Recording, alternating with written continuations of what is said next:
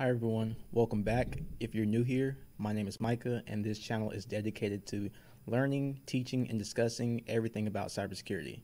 So today we're going to be going over the CYSA Plus, which is the Cybersecurity Analyst Plus certification by CompTIA. I'm going to give you an overview of how I prepare for the test, the resources that I used, and then I'm going to give you some tips and tricks that will help you pass the exam on the first time like I did. So without further ado, let's get straight into it.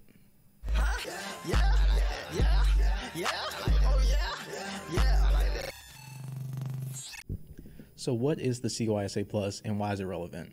Well, the CYSA Plus is a blue team or defensive security certification offered by CompTIA, and it covers five domains threat and vulnerability management, software and system security, security operations monitoring, incident response, as well as compliance and assessment. It meets the ISO 17024 standard and is approved by the DoD to fulfill Directive 8570.01-M requirements. So if you're looking for a Department of Defense job, it's an awesome thing to have. I will say um, there are requirements or prerequisites before taking this exam. You want to have the Security Plus and Network Plus and at least four plus years of information security um, experience. And this is what well, this is recommended by CompTIA to have. And it's not necessary. You can totally do it without it if you have the passion and the drive and the want, the will to pass the exam and study for it. But I will say you want to have at least that network plus and security plus baseline level of knowledge because the CYSA plus will build on top of a lot of the concepts and information uh, and knowledge that was introduced inside of the security plus and the network plus. So that's just something to consider before taking the exam. So the first resource that I used was a course by Jason Dion on Udemy. And I've used him now for the Security Plus, the Network Plus, and of course the CYSA Plus. He makes fantastic content, very affordable.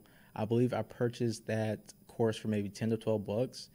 It was on sale, but you can usually find sales all the time on Udemy, so it's not that hard to get a good price.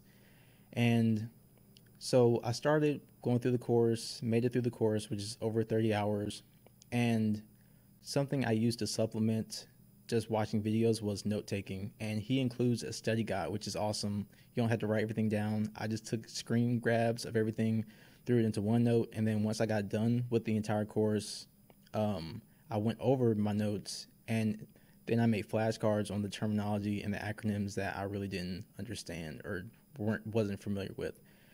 So Jason Dion, great course, and actually you can purchase exam vouchers through his website for a discount. I believe I saved about 40 bucks on the exam vouchers. So Jason Dion, awesome resource to have. So the second resource that I used was the CompTIA CYSA Plus practice test book by Sybex, and that's written by Mike Chapple and David Seidl. The book contains a thousand questions that covers all five domains that I mentioned earlier.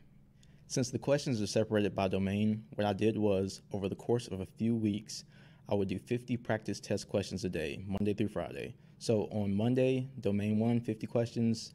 Tuesday, domain two, 50 questions, so on and so forth. And doing this gave me the ability to track my progress and determine exactly how well I was performing in each domain. Breaking up the questions in this manner helped to reduce the monotony of going through a thousand questions and made studying a bit more interesting.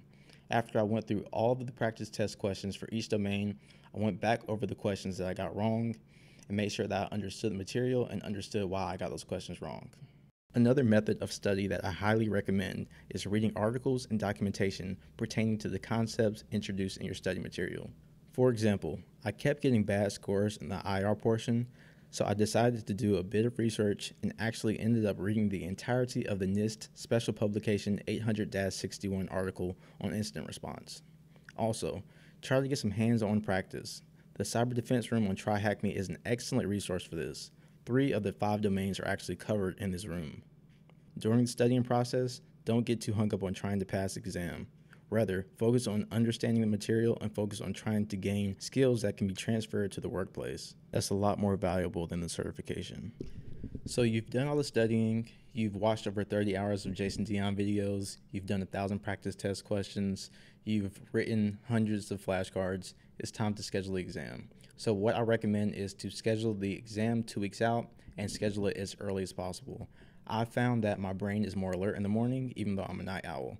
And scheduling it early will definitely help you when you're awake, when you're alert. It will give you that edge that will help you to pass the exam. Also, I recommend during that downtime that you review all of your flashcards.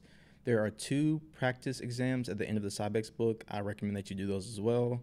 And brush up on any of the weak areas that you found while you was doing your practice questions and ensure that you turn that weakness into a strength.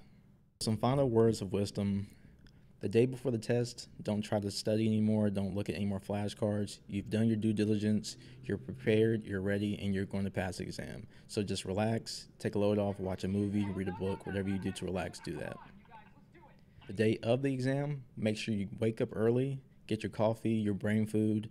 Um, pro tip: peppermint gum helps you to concentrate. So definitely get some sticks of those to shove, shove in your pockets and get to the exam site early. Don't do like I did, have to throw on clothes and have to drive down the road in a cold car because you didn't wake up early enough. Get up early, and get to the site early. It will help you out in the long run, I promise. And save your PBQs, your performance based questions, until the end. You'll get two or three, just flag them, move on to the multiple choice, and then do your PBQs at the end. It will help you out tremendously, I promise.